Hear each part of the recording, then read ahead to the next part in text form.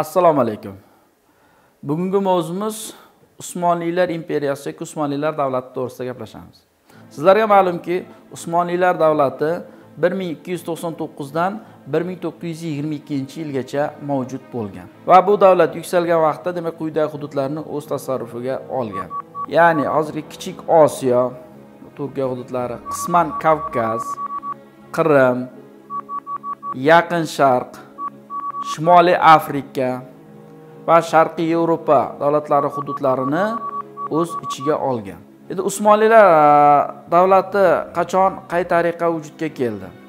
Sizlarga ma'lumki saljuqiylar davlati demak parchalanib ketadi ya'ni bir qancha mayda o'nlab beyliklarga bo'linib ketadi. Ana shunday beyliklardan biri demak usmon beyligi vujudga keladi. Usmonlilar davlatini sulola asoschisi usmon hisoblanadi. Usmon 1299-1326 yillarda hukmronlik qilgan va o'sha usmoniylar imperiyasining asoschilaridan biri hisoblanadi. Dastlab usmon beyligi kichik osiyoning shimoliy g'arbiy qismida eski shahar qismida vujudga keladi va aynan usmoniylarning keyingi taraqqiyotiga vizantiya bilan qo'shniligi qo'l keldi. Nima uchun vizantiya bilan qo'shniligi qo'l keldi deymiz? Sabab bu paytda vizantiya imperiyasi parchalanish jarayonida edi va ularning mana shunday parchalanish jarayoni usmonlar davlatini kengayishi uchun imkon yaratdi. Dastlab e, usmon davrida bursa uni atroflari bo'ysundiriladi. Va uning e, vorisi o'g'li o'rxon davrida esa demak nikeya va nikomediya bo'ylari bo'ysundiriladi va e, qora dengiz bo'ylariga chiqishadi. Usmonlilar davlatining dastlab boshqaruv shakli juda sodda bo'lgan ya'ni harbiy o'sha urug' qabilalar yig'inida demak bey unvoni berilgan. Beyga yuklatilgan asosiy vazifa u istilochi yugurishlarni tashkillashtirib berishi kerak edi. Va tinimsiz mana shunday istilolar qo'shni hududlardan ko'plab askarlarning kelishini ta'minladi. Va oxir oqibat bu tinimsiz urushlar yirik katta usmonlilar imperiyasini vujudga keltiradi. O'rxon davrida e, bir qator islohotlar o'tkazilgan jumladan uni davrida hududlar kengayishi bilan demak vazir lavozimi ta'sis etadi hududlar ma'lum bir birliklarga bo'lib chiqiladi harbiy islohot o'tkaziladi va qo'shin demak otliq va piyoda qismlarga bo'linadi. Ya'ni otliq qo'shin musallam piyoda qo'shin esa yanichar deb nomlangan. Bundan tashqari o'rxon davrida demak pul islohoti ham o'tkazilib demak mamlakatda tanga pullar zarb qilinib muomalaga chiqariladi. Demak usmonlar bunday katta kuch qudratga birinchidan o'sha sultonlarning oqilona boshqaruvi qolaversa ularda kuchli e, otliq qo'shinning mavjud bo'lishi bundan tashqari demak yanicharlarning piyoda qo'shinning mavjudligi demak usmoniylarni g'alabalarini ta'minlagan omil desak bo'ladi. Misol uchun ular tumori degan yer ajratilgan va tumori egasi demak o'zini otliq qo'shini bilan e, kelib xizmat qilishi kerak edi. Va aynan mana shu tumori yerlarni berilishi usmoniylarda demak bir yuz ellik mingta otliq jangchini e, shay qilishga olib keldi. Bundan tashqari usmonli turklar o'n to'rtinchi asr o'rtalarida e, bolqondagi yurishlar natijasida e, bosib olingan hududlardan demak yosh bolalarni olib kelib demak ularni demak saroyda tarbiyalab ulardan kuchli yanicharlar yetishtirib chiqaradi. Va saroyda yoshligidan o'sgan yanicharlar sulton uchun demak janglarga kirar edi. Va aynan mana shu yanichar qo'shini mavjudligi ham usmonlilarning g'alabalarini ta'minlagan omillardan biri edi. Usmonlilar davlati keyinchalik kengayib bordi dedik va ular bolqonga yurishlarini boshlaydi. Demak bolqonga birinchi yurishlar bir ming uch yuz ellik uch ellik yettinchi yillar oralig'ida bo'lib o'tadi va keyingi o'ttiz yil davomida bolqon yarim oroli demak to'liq usmonlilar tomonidan egallanadi. Endi usmoniylar yurishigacha bolqonda ham demak bolgariya bosniya vizantiya serbiya kabi yirik davlatlar bor. Lekin ularni o'zaro ichki urushlari demak usmoniylarga qarshi ularni birlashtira olmadi. Va aynan mana shu ichki nizolar e, tufayli usmoniylar qisqa vaqt ichida bolqon yarim orolini egallaydi.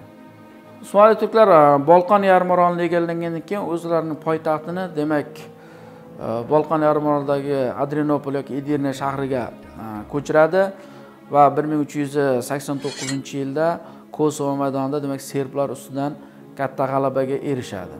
Bir ming uch yuz e, to'qson uchinchi yilda demak e, bolgariya poytaxti tirnovo ham egallanadi va undan keyingi janglar demak bir ming uch yuz to'qson oltinchi yilda bolgar venger valaxlar bularning birlashgan oltmish minglik qo'shini ham usmonli turklar tomonidan mag'lub etiladi.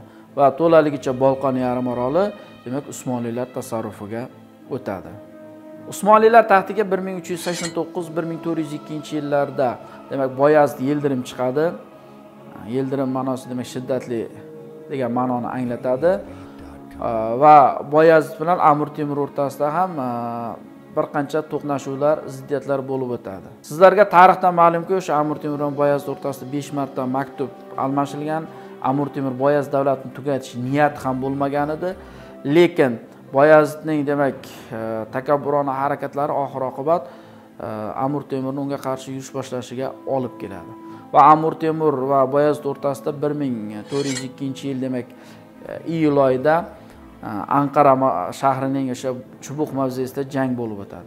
Va bu jangda demak amur temur qo'shinlari g'alaba qozonadi. Va boyaz bir ming to'rt yuz uchinchi yil vafot etgandan keyin demak amur temur boyaz davlatini butunlay tugatmaydi. Aksincha uni davlatini uni uchta farzandiga demak bo'lib beradi.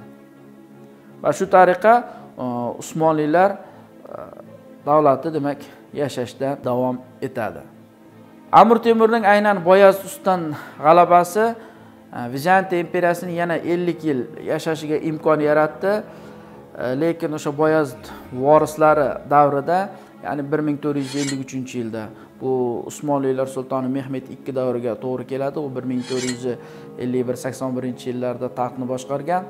Aynan mana shu mehmet ikki bir ming to'rt yuz ellik uchinchi yilning yigirma to'qqizinchi may kuni e, vizantiya demak poytaxti konstantinopol shahrini qamal qiladi va egallaydi. Va konstantinopol shahrini nomi demak istanbul deb o'zgartiriladi va poytaxt istanbulga ko'chiriladi. bir ming to'rt yuz ellik uchinchi yildan bir ming to'qqiz yuz yigirma ikkinchi yilga qadar istanbul usmonlilar davlatining poytaxti bo'lib kelgan. Usmonlilar e, davri ya'ni usmonlar imperiyasi davri madaniyati haqida qisqacha to'xtalib o'tsak bu davrda ham fan madaniyat yuksalgan jumladan o'sha davrda o'n beshinchi asrda demak mehra xotun mulla mahmud kabi shoir shoiralari yashab o'tgan. Bundan tashqari juda ko'plab qurilish va obodonlashtirish ishlari olib borilgan jumladan millati o'zi grek yunon bo'lgan xo'ja sinon. Shu davrda yashab o'tgan va u e, umri davomida uch yuzdan ortiq saroy masjid madrasalar ko'priklar va boshqa inshootlarni qurilishida ishtirok etgan. Usmonlilar davrida demak fanlar jumladan geografiya tarix fanlari ham demak taraqqiy etadi. Bu davrda jumladan geografiya sohasida piri raisning o'sha o'rta yer dengizi egey va qora dengiz atlasini o'z ichiga olgan bahriy asari yoki bo'lmasa evliya chalabiyning sayohatnoma asari yoki bo'lmasa xo'ja xalifaning jahonnoma asarlarini keltirib o'tishimiz mumkin. Shuning bilan bugungi darsimiz o'z nihoyasiga yetdi. Keyingi darslarda ko'rishguncha. Xayr salomat bo'ling.